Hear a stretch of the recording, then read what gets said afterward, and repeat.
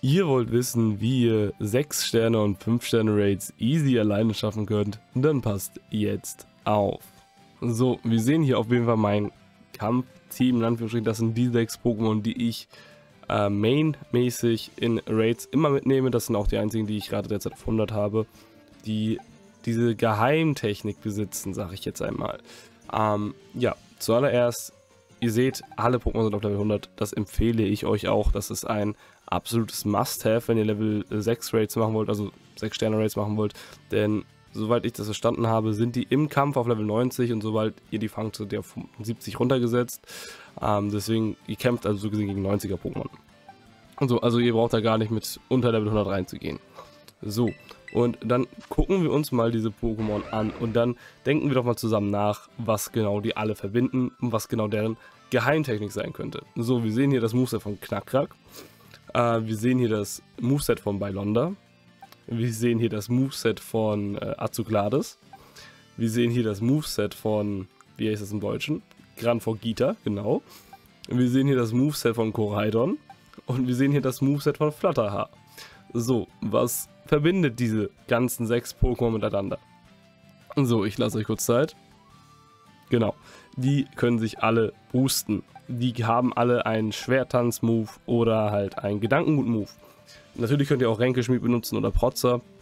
Äh, Gedankengut und Protzer sind natürlich ein bisschen langsamer als Schwertanz und Ränkeschmied, aber sind auch gute Optionen. So, und ich werde euch jetzt anhand dieses Teams zeigen, wie ich jetzt ein 6 Sterne Scarborn easy alleine gekleppt habe. Den Scarborn Raid habe ich mit Poppy gemacht und ihr werdet sehen, es ist ein 6 Sterne Raid und Poppy hat good work geleistet. Sehr, sehr gute Arbeit. Also, ich kann euch nur empfehlen, nimmt ein Pokémon, was sich boosten kann. Schwer, sei es Schwertanz, sei es Drachentanz, sei es Protzer, sei es Gedankengut, sei es Ränkeschmied, sei es Einrollen oder I don't know. Aber nehmt euch die Zeit zum Hochboosten. Falls der Gegner natürlich sowas hat wie Dunkelnebel oder Clairsmog, ist natürlich nervig. Aber ihr könnt das halbwegs umgehen, wenn ihr mit Mates zusammenspielt, mit denen ihr... Okay, Google, danke dafür. Äh, ihr könnt das umgehen, indem ihr mit Mates zusammenspielt und äh, euch absprechen könnt. Keine Ahnung, mit Hypnose und Verhöhner und I don't know. Ähm, das ist halt das Knifflige nicht mal das Knifflige, es ist eher das Spaßige, sage ich jetzt mal, sich Strategien mit seinen Kollegen auszusuchen, äh, auszudenken. Das ist das, was, finde ich, diese Raids ausmacht. Es ist eine absolute Herausforderung im Vergleich zu Schwertenschild. Äh, aber ja, ich hoffe, es hat euch gefallen und äh, wir sehen uns beim nächsten Mal. Ich blende euch jetzt einfach ein, wie ihr zum Beispiel Scarabon easy besiegen könnt.